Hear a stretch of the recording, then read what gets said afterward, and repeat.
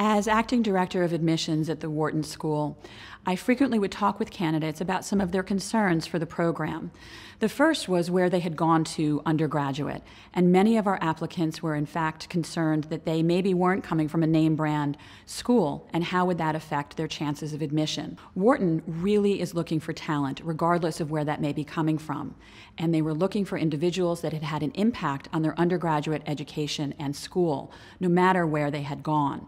So that may have been a state school, it may have been a small school, it may have been a school internationally that perhaps was not as well known.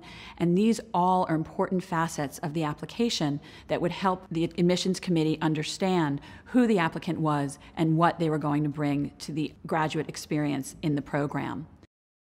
A second concern that a lot of students had was that they were going to be viewed solely on the basis of their professional background and what it was they had done in a certain industry. There was a concern that perhaps Wharton wasn't interested in the personal or in the extracurricular, and that really blue chip firms were the only things that were coming to the top of the minds of the admissions committee.